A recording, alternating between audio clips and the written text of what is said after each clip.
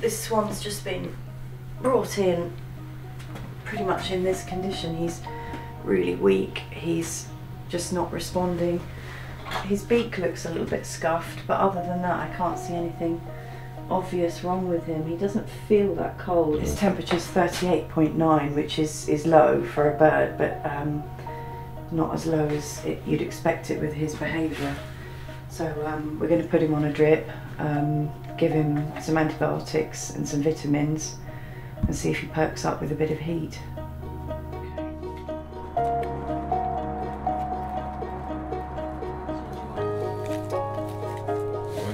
So this is a fluid pump so that I can get an accurate rate of fluids into him so we know he's getting exactly what we want him to have.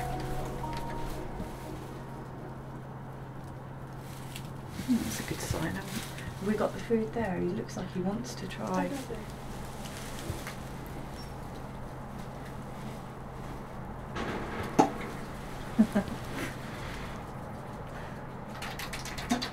Are you pleased with that, Liz?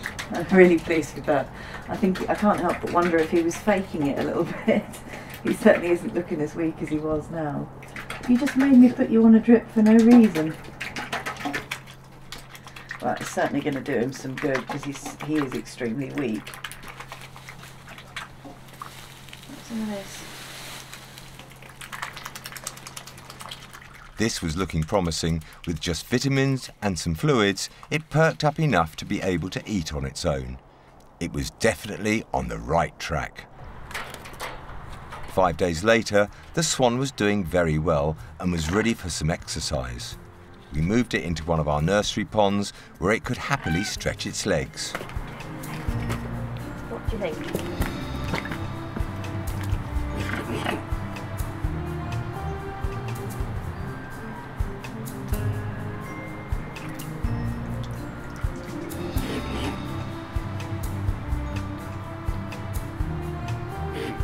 Oh, it's lovely to see. She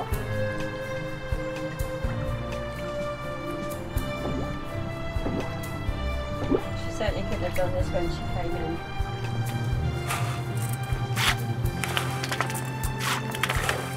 At this rate, the swan was going to recover in no time. Indeed, the swan was fit enough to be released shortly after. Good boy. Yeah, that's it. It's a good boy. There's a good boy. That was a nice, easy, simple catch. Come on, my swan. Come on, you've got to go in there, then you can go home. Yeah, there's your head. There's your head. Come on, then. We're going to take you back to where you belong. Yeah. Yeah, come on then. Well, we're now at the lake, which is literally five minutes as the crow flies from where the swan was found. So we're just going to have a quick look, make sure there's not too many swans on it. It's a lovely big lake. Even if he doesn't like it here, there's plenty of room for him to take off and do what he wants to do. So let's get him out the back. Yeah, fella, you're going to go back to the wild. Come on, come on, there's a good boy. Come on, yeah, you're free. Look, it does look nice. How's that, swan? Look at that, what a big lake for a swan. It's lovely water, nice and clear. All right, come on, come on, come on, come on, in. Come on, in, fella. Go on, off you go. How's that, eh? How's that? You think you might like it here? Do you? Well, it's a beautiful sight. It's a sunny day.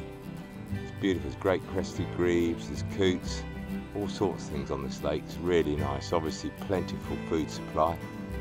And uh, he's just swimming off into the distance, making some chucky noises, which is obviously sign that he's quite content. And we've done our job. We've given him a second chance, which is what it's all about. If you like our videos, please subscribe to our channel by pressing the red button. And make sure you hit the bell to get notifications of our latest content. If you want to help us save wildlife, please donate. Every pound you give will help us to save more wildlife.